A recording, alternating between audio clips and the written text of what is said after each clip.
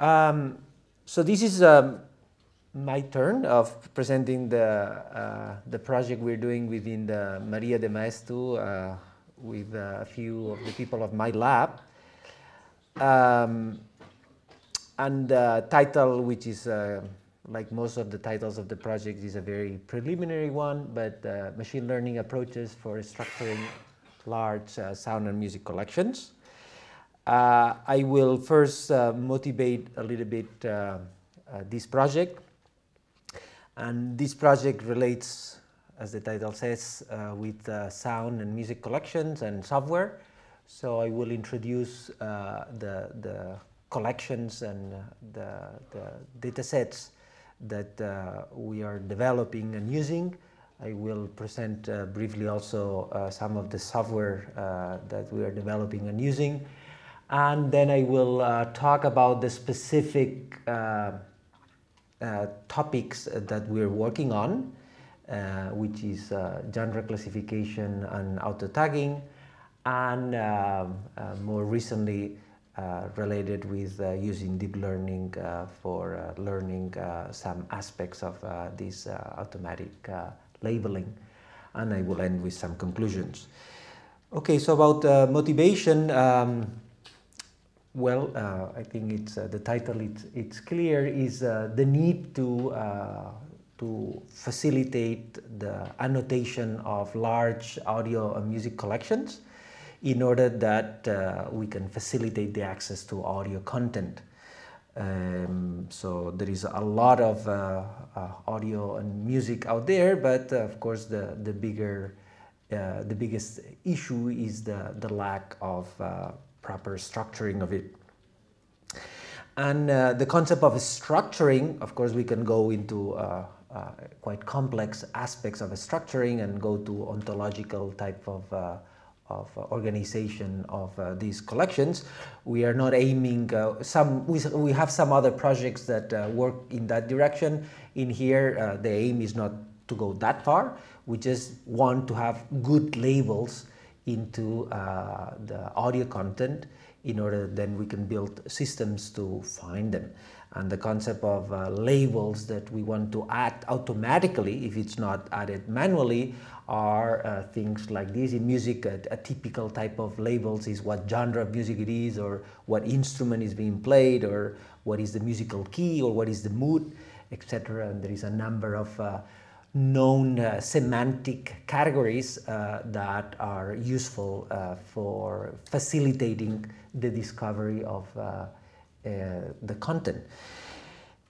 The current known problems that everyone in the, in the community uh, agrees on uh, are uh, these ones. The first one is the, the, lack of large audio collection, large audio collection for training and testing. And we could say that even the like really even the big companies, even the big companies in, in, uh, in music distribution like Spotify or Pandora, they have still the same problem. They have large audio collections, uh, but uh, the metadata that they have is not uh, sufficient for developing a number of the services they want. They may have the editorial metadata, like uh, who is the artist or uh, who is the musician playing, but they will not have uh, some of these other metadata that is also very relevant for uh, facilitating the discovery or the recommendation or some of these services that they offer. So this is uh, uh, a problem uh, clearly for, for research, uh, but uh, even in the, in the commercial world.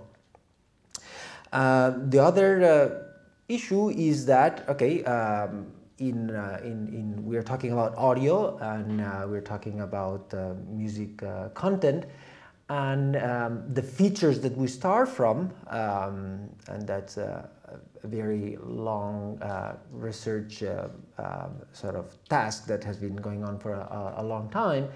Uh, so there has been quite a lot of progress of uh, trying to get features uh, automatically from the audio content or audio content plus other type of information we might have in order to have good features on which then we can do some machine learning or some uh, uh, processing to, to, to get uh, these semantic concepts. And uh, really, uh, we are still far from having adequate and robust audio features for many of the use cases or many of the content that uh, we want to, to label. And uh, finally, um, uh, the, the, there is the problem of scalability. Uh, we are uh, we want to really work with large data collections and that means also with a large number of classes. If you look at the state of the art in uh, MIR and when they do classification tasks, the, the number of classes they use is really small compared with the real world thing. So for typically, if you want to have a, to label an instrument or label a, a genre, they, they work with, uh, let's say, 10 to 20 classes as, a, as, a, as sort of the typical type of number of classes and with data sets that are on the hundreds or maximum a few thousand uh, uh, instances of, uh, and, and for each class they have uh, very few. And that's not the reality. The reality, if you go to, to Spotify or you go to any, uh, uh, any type of large collection, we are talking about thousands of uh, genres that are relevant or hundreds of different types of musical instruments, etc. And current techniques are, are definitely far from being scalable to these this uh, situation. Okay, so the project basically is to advance on these three uh, type of problems. There may be some other problems, but we're really focusing on these three. And uh, the team that um, uh, is working on this, uh, so I, I had uh, within the music technology group, um, my lab is the audio signal processing lab, and we work on these and related problems. The people that are more directly related to uh, this particular project is, of course, myself and uh, Jordi Pons, uh, who, uh, who is his uh, first year PhD student, and he's in fact the only one funded by Maria de Maeztu to work on this, but clearly the project is bigger than this, so we have like uh, Frederic Font, who is who did his PhD related with Freesound, and it's and he, um, so he's working on that area, and Dimitri, he's working on the, the, the feature extraction and on, on, the Essentia library, and Alastair, who is working on the AcousticBrainz framework that I will also mention about. Uh, but very much this project is very uh, uh, sort of interlinked into uh, a number of the, the, the, initiative projects and other type of fundings that we have to work on this um, because it requires quite a, a, lot of complementary efforts. So let me just give you some uh, indication of, of these uh, data, these collections that uh, we have and that we have been working on and that we use as sort of a, our research platform to do a lot of work. Uh, Freesound is the first one and maybe it's, well, it's the, our oldest uh, initiatives in, in, uh, in, in this area. we started Freesound close to 10 years ago. No, more than 10 years ago. We celebrated in April 10 years.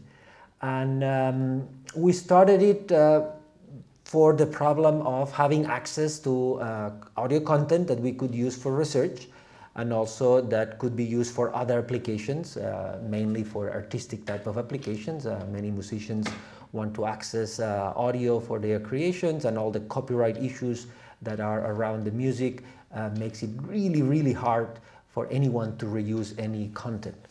So the idea was uh, that was the beginning of the Creative Commons uh, type of movement. So it was the, the, the, right time to start an initiative to gather uh, user-generated content uh, at the audio level, not at the music level, because this is still a complete nightmare but at the sort of sound snippets type of level, which is material very much relevant for a lot of task and, uh, and creative applications.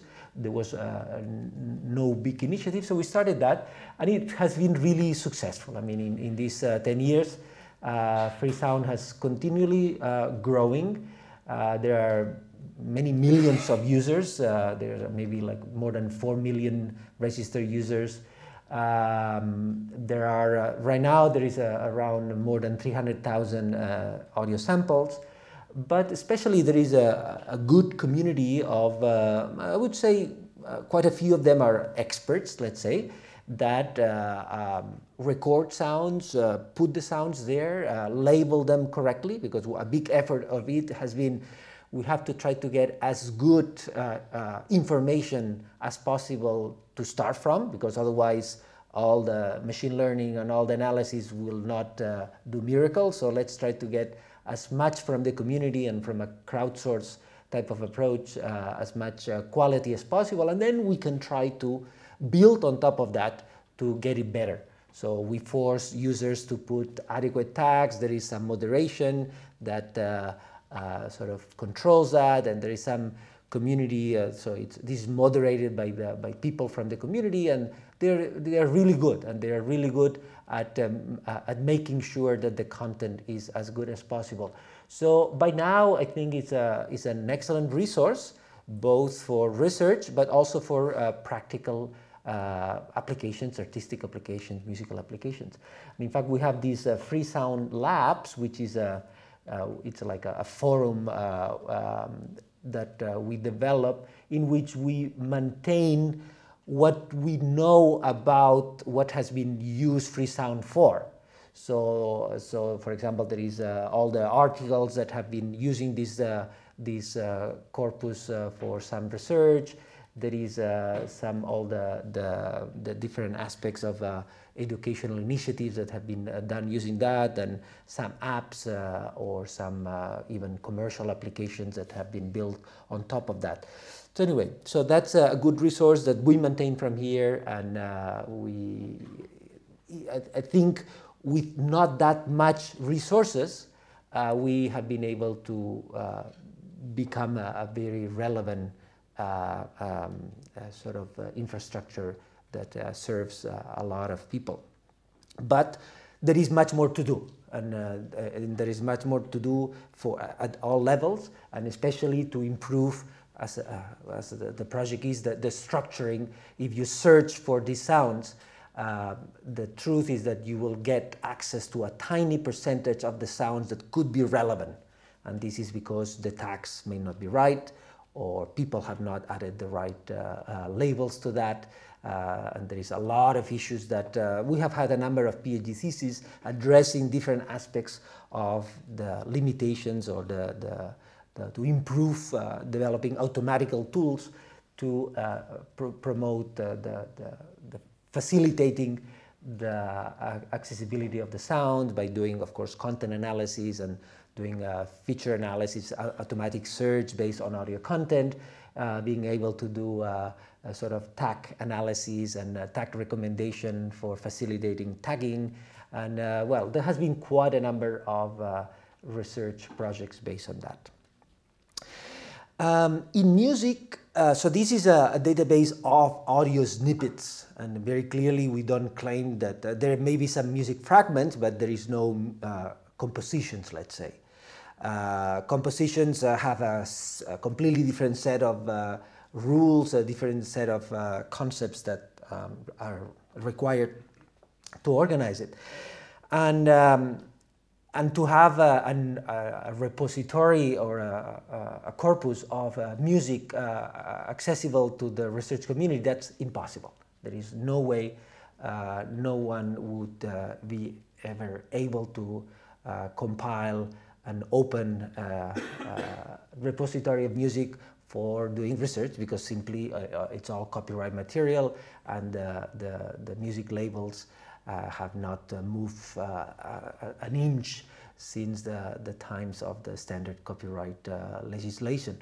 So it makes it really, really difficult even to share it in a one-to-one -one basis. I mean, uh, I think it's one of the fields in which uh, research because of copyright issues uh, is the, the hardest uh, because of traditional there has been a lot of money made by uh, by labels by by record labels so it's understandable so they don't want to uh, give out that uh, that privilege and that uh, business models that they have.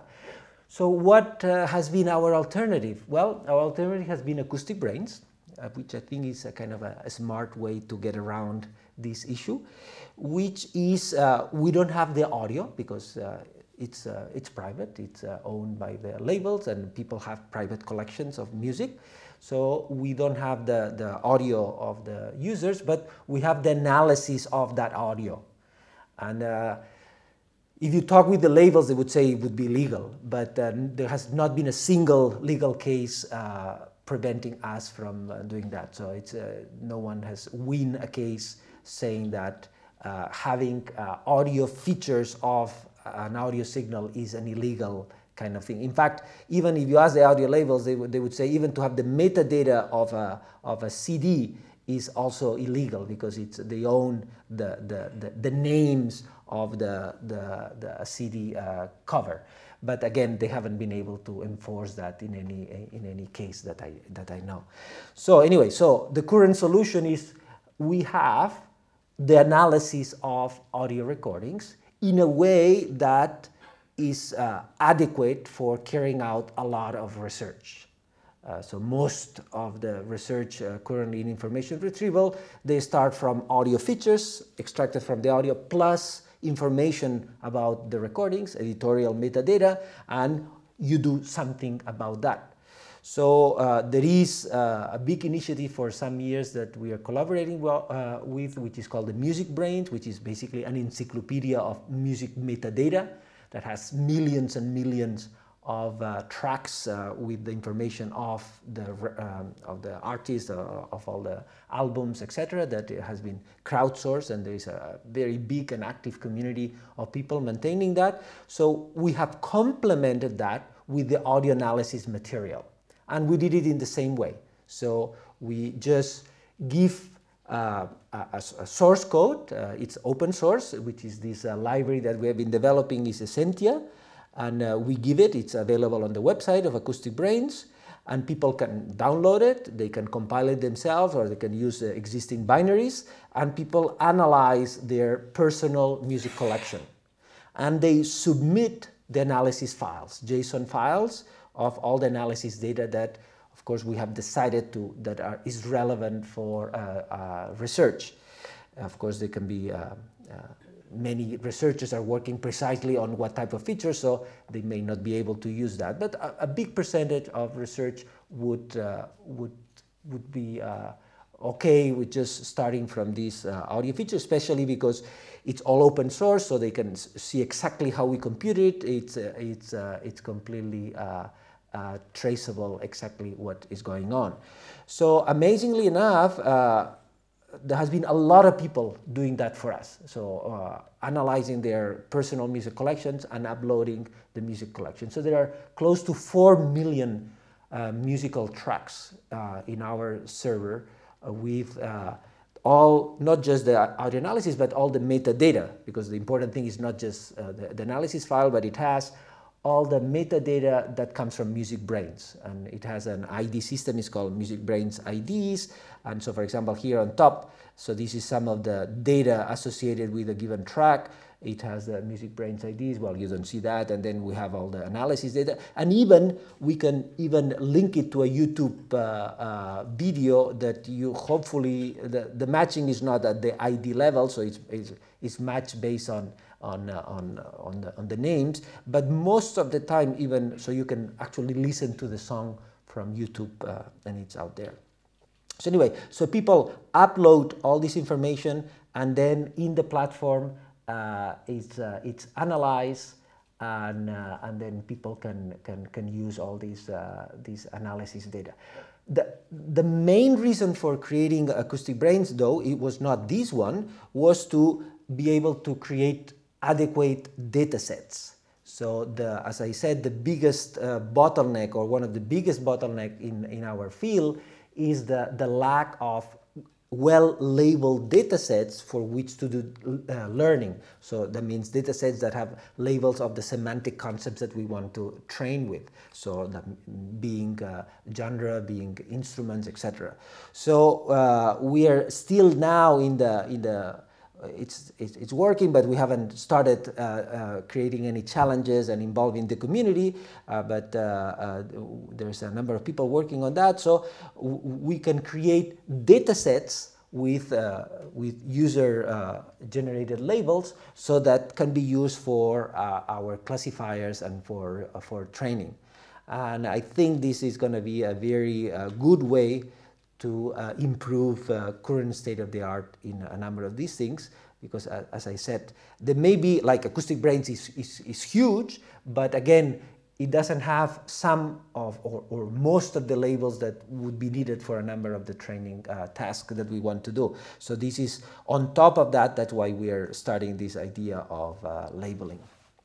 Okay, um, let me just uh, uh go a little bit quicker. Uh, Essentia is a, a, library that we have developed for a number of years on the idea of uh, uh, collecting algorithms that have been the result of uh, a lot of the research we do uh, and making it uh, open source so that people can use. And by now, I think it has become uh, a standard software library for people working in this field. It's quite robust. it has been used both commercially and for research for many things. Uh, on the website, you can see all the applications and uh, usages uh, that have been used. Uh, so that's a, a very excellent uh, uh, sort of tool on which to, to do things with and test many things. So we definitely are using that. And in GitHub, it's very active. Dimitri is the main um, software developer and maintaining and getting a lot of feedback from the community, uh, getting uh, comments and how to improve things, etc., etc. And so, so anyway, so this is the kind of tools that we are building, and of course within MariaMath we we will be emphasizing even more and making sure that is uh, not just used by us but by other people, etc., etc.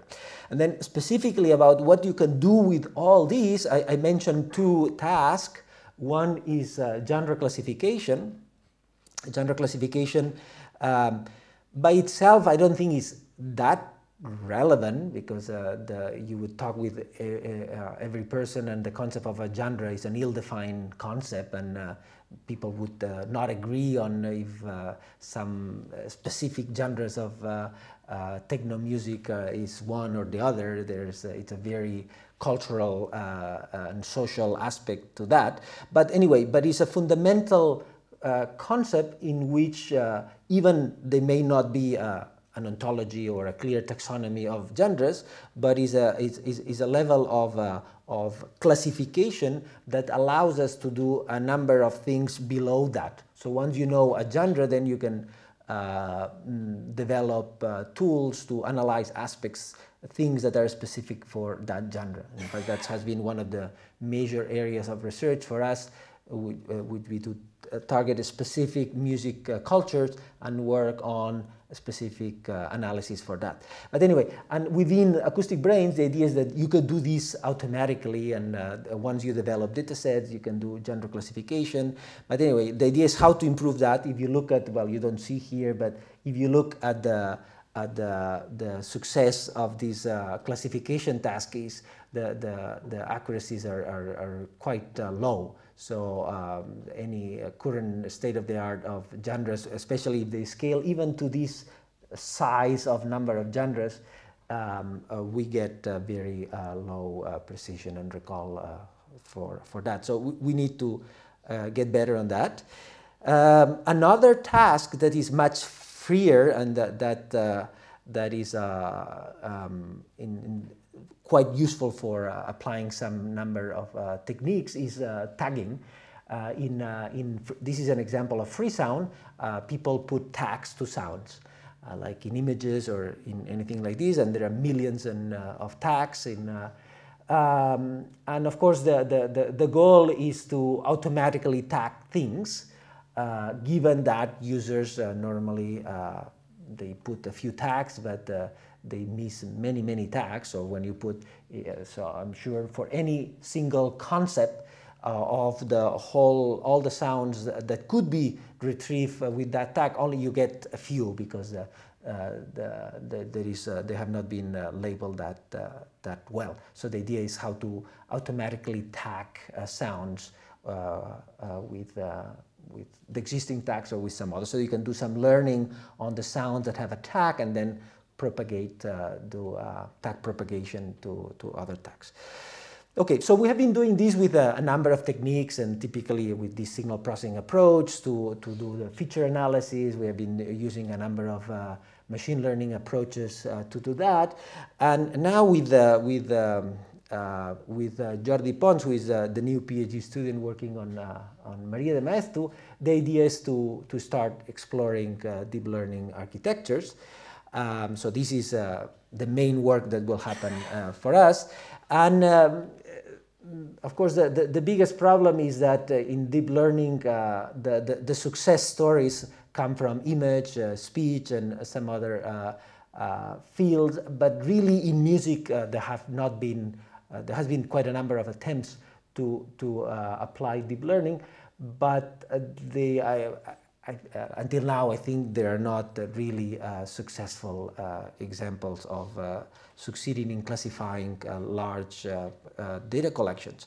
So the idea is to work on that and we have been trying to, to use uh, different approaches and especially convolutional neural networks, but the main thing is to try to understand what's going on. No? So the, the first approach in, in, in, in uh, deep neural networks is to use the idea of image so consider that a sound is an image and this is a spectrogram and basically you do image analysis on that uh, because that's where uh, the state of the art comes from.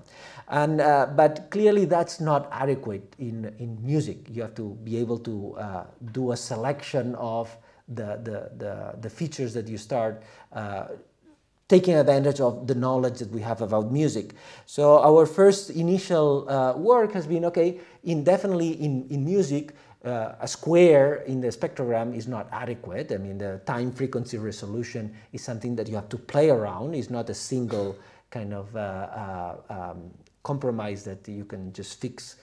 And so the idea is that you have uh, sort of things or aspects of music that are more time dependent and some aspects of music that are more frequency dependent. So you have to uh, at least have some, uh, some uh, feature selection and some initial pre-processing that tries to emphasize some of these uh, uh, specific perceptual or musical concepts, especially given that we have not huge uh, data sets, so there is no way you can al allow for a, a, deep neural networks to learn everything because we don't have enough data for the system to learn everything. So we need to add a little bit more knowledge at the beginning. Anyway, and, and this uh, was uh, already got a Best Paper Award in, uh, in this uh, workshop that happened uh, last uh, week at CBMI.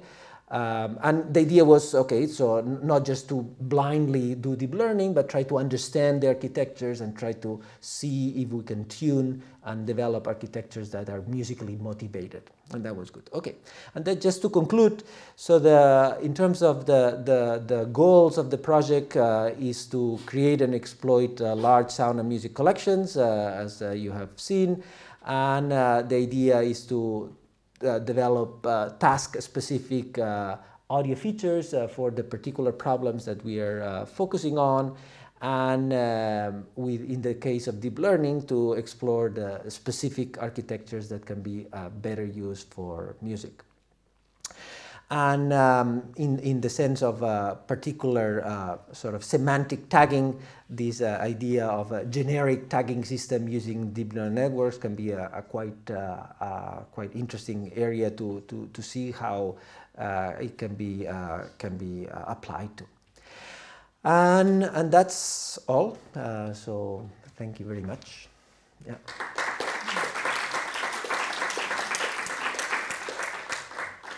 Um, I guess uh, I, I just write on time, but uh, if there is a quick question, otherwise we can just start. Any question, comment?